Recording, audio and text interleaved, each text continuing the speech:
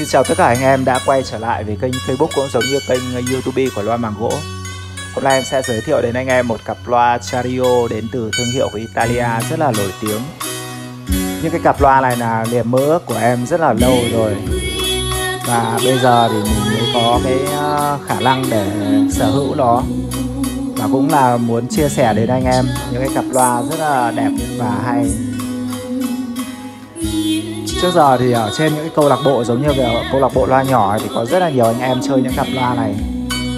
Và em cũng rất là thích và cố gắng tìm mua. Như anh em thấy thì nếu mà anh em nào đã chơi Chario Citon 100 ờ, hoặc là 200 rồi thì đều có thể biết đấy là những cái cặp loa rất là hay. Thì Chario Hiffer 1000 này nó là một trong những cái cặp loa mà thuộc dòng tham chiếu của hãng Italia. Thế là nó cho một cái chất lượng âm thanh rất là tốt.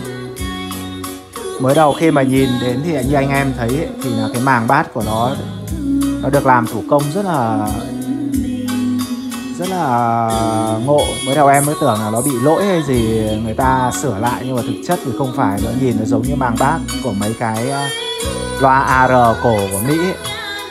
nó làm thủ công nên là nhìn nó rất là ngộ. Và cái gân béo như anh em có thể thấy thì là nó nhìn nó rất là hay và nó cho một cái chất âm bát rất là sâu.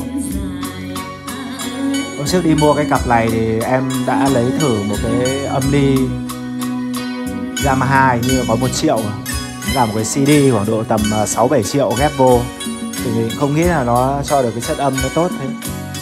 Và em mang về thì đang ghép với cái à, gì nhỉ? Mấy cái à, bộ Victor AK1 này có 4 năm quát rồi, nhưng mà nghe rất là hay.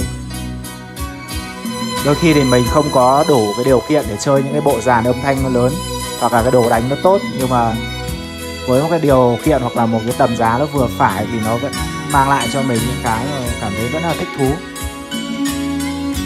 Rồi bây giờ em sẽ mời anh em nghe nhạc của em nó nhé. Cái này là em cho những cái bài nhạc mà nó rất là nhẹ nhàng nhưng mà mình mở nhỏ để nghe cái chất âm của nó như nào thì thấy ba giải nó rất là đều. Đấy. bây giờ mời anh em nghe. Ừ.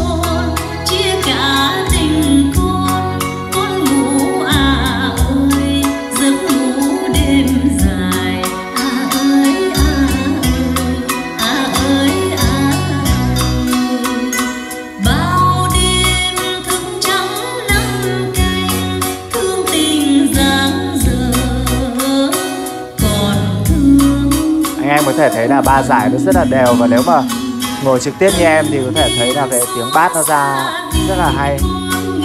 Nghe nó chi tiết.